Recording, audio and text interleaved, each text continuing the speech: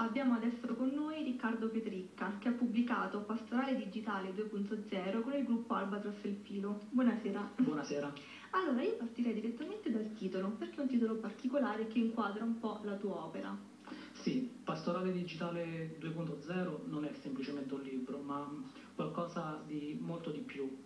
Come ha detto qualcuno anche durante la presentazione, la prima presentazione del, del libro, è un sogno, un sogno di Dio e dell'uomo.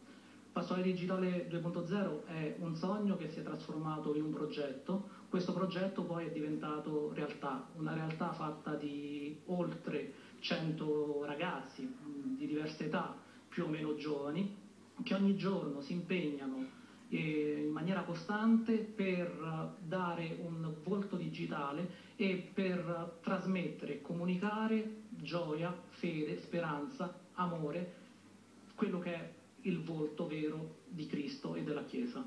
Quindi è proprio un progetto che parte da un cammino di fede, però fatto in maniera moderna, in chiave moderna, perché c'è proprio la digitalizzazione in qualche modo. Sì, Pastorale Digitale, come dice anche il, il titolo stesso, cerca di coniugare insieme il mondo della fede spirituale con quello delle nuove tecnologie, con il nuovo modo di comunicare tramite gli strumenti web 2.0, internet e in particolare anche i social.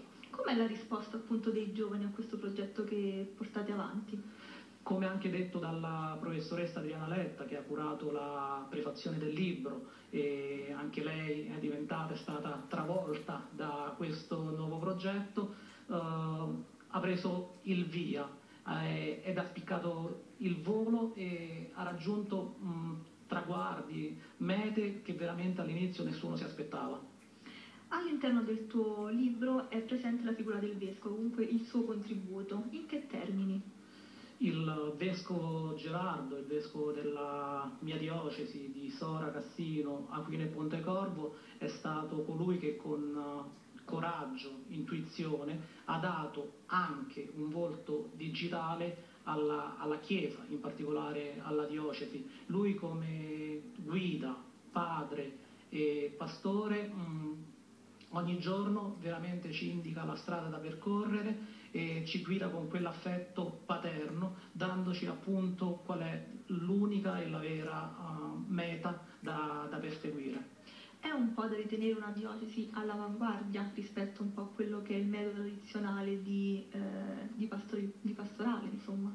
Uh, sì, mh, mm, sono un po' orgoglioso mh, mm, di questo perché anche un po' i numeri uh, lo dicono, perché la, la, nostra diocesi è quella che ha la, il profilo Facebook con il maggior numero di, di like, di mi piace rispetto a, a, tante altre diocesi molto più grandi, quali Milano o quant'altro. E, però questo è un cammino iniziale, forse noi siamo stati tra i pionieri, ci sono anche altre diocesi, ma noi siamo stati tra i pionieri, ma adesso pian piano anche le, le altre diocesi, le altre realtà pastorali pian piano ci stanno seguendo e stanno vedendo che questo è uno dei cammini da percorrere. Quindi il tuo testo mostra come la tecnologia sia alla fine positiva in un certo senso, non abbia soltanto lati negativi, ma possa essere utilizzata anche per descrivere appunto l'amore, per diffondere l'amore, che è quello poi l'amore di Dio o comunque l'amore eh, religioso.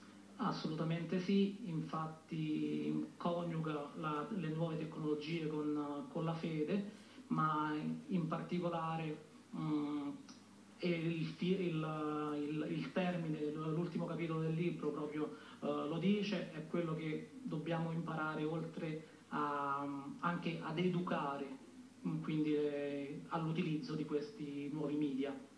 All'interno del testo, qual è la tua parte eh, più importante, nel senso il tuo contributo rispetto all'esperienza che descrivi, quindi quella più personale e quale invece il contributo che descrive delle altre persone, degli altri componenti, insomma, con i quali ti sei rapportato?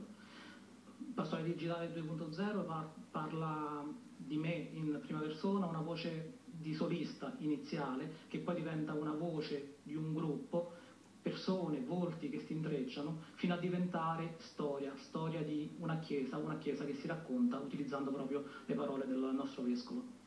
Grazie a Riccardo Petricca che ci ha presentato Pastorale Digitale 2.0, edito dal gruppo Albatros Il Filo. Grazie, Grazie a voi.